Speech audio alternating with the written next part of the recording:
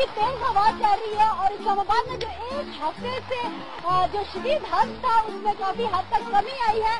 وہ کہ اسلام آباد کا جو سیاسی درجہ حرارت ہے، وہ کافی اوپر ہے۔ تمام petrol pump, C N G station, کاروباری مراکز مکمل طور پر بند ہیں۔ اور شہر بھر میں سیاہ جھنڈے اور رنڈ کا بچہ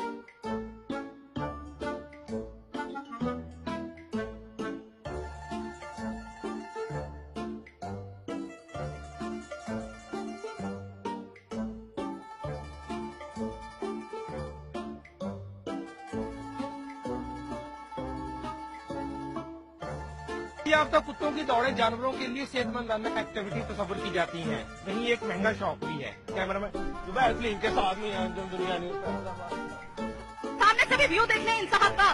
یہ ذرا دکھا دیجیے یہ ہے وہ آدمی جو کہ صرف اور صرف یہاں پر لوگوں کو بےزت کرنے کے لیے آیا۔ اور تمہیں شرم نہیں آتی؟ تمہیں شرم تمہارے گھر میں مائیں بہنیں نہیں۔ بدتمیزی کر رہے یہ ذرا دکھائیے یونیفارم دکھا دیجیے یہ دیکھیے، یہ ہے ان کا ایٹیٹیوڈ یہ ہے صلی اللہ علیہ وآلہ وسلم سے اپنی محبت کا اظہار کرتے نظر آ رہے ہیں۔ جی۔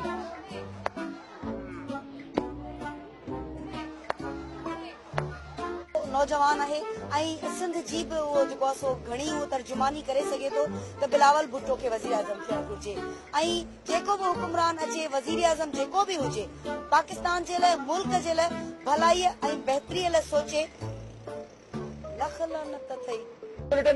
کے ساتھ۔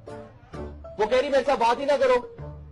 میں نے لہجے کی بھائی تمہارا اگر کوئی اپنا مسئلہ چل رہا ہے اس کو میرے ساتھ نہیں ڈسکس کرو نا یار۔ تمیز سے میں نے کون سی بدتمیزی کی ہے؟ کیا بات بدتمیزی کی ہے؟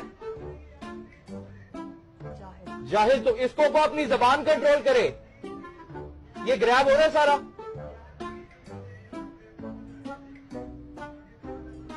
عجیب اس کے نخرے ہی نہیں ختم ہو رہے بھائی۔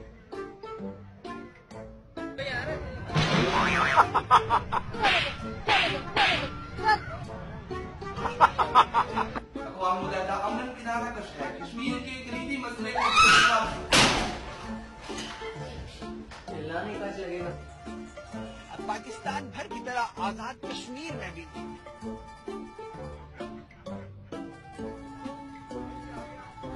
بندر اور بندر کے بچے کو نچا کر اپنے لیے دو وقت کی روزی کماتے ہیں۔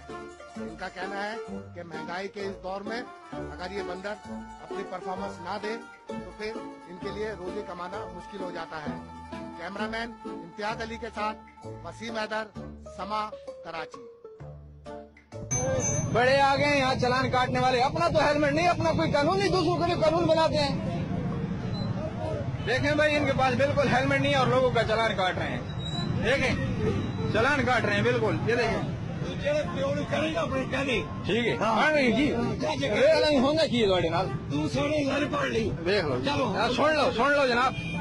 کیا کہہ رہے ہیں؟ لان پڑھ لیں لان پڑھ لیں۔ یہ ادارے ہیں لان پڑھ لیں لان پڑھ لیں۔ اتنے بڑے ہو گئے یہ ایسے کہتے ہیں لان پڑھ لیں۔ سوال نہیں ہو گیا آپ کا؟